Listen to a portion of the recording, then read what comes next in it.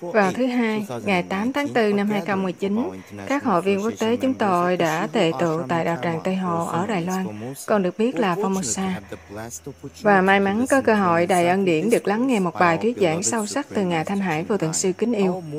Sư phụ vô cùng quan tâm đã nhắc nhở về tầm quan trọng và sự quý giá của việc thọ tâm ấn vào Pháp Thiền Quán Âm. Có bao nhiêu người được tâm ấn qua A Tăng kỳ kiếp Thậm chí trong thời Đức Phật, chỉ vài ngàn mà thôi, hoặc một trăm ngàn là tối đa. Hay trong thời Chúa Giêsu cũng rất ít. Thời của Minh Sư Guru Nanak cũng chỉ có vài người. Không, không phải vị minh sư nào cũng có thể dạy pháp môn này.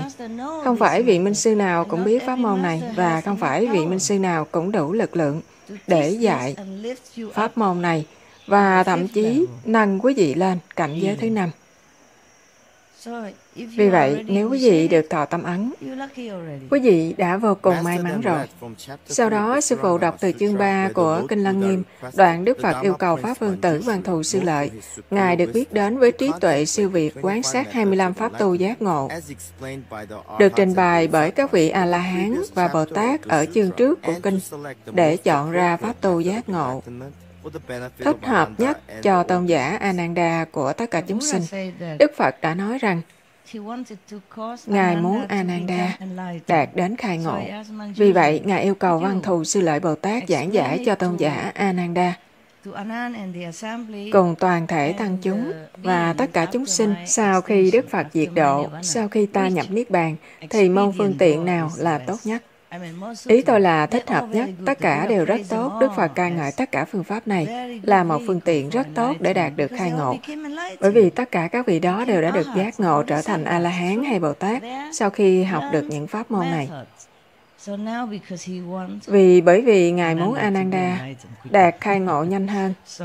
Vì vậy, quý vị thấy Ananda đã theo Phật suốt thời gian đó, Ngài vẫn không dạy Ananda pháp môn quán âm. Và quý vị đến từ khắp nơi, tôi thậm chí còn không biết quý vị sống ở đâu. Quý vị làm gì? Quý vị hầu như được truyền tâm ấn ngay lập tức. Tôi đoán quý vị may mắn hơn Ananda. Ananda. Chưa được khai ngộ tại thời điểm đó. Và đã theo hầu Phật trong suốt thời gian đó luôn luôn cận kề bên Ngài ghi nhớ rất rất nhiều bài giảng và phép màu xảy ra trong tăng đoàn và tính chúng. Quý vị có tưởng tượng được không? Vì vậy, trí óc thông minh hoặc bộ nhớ sắc sảo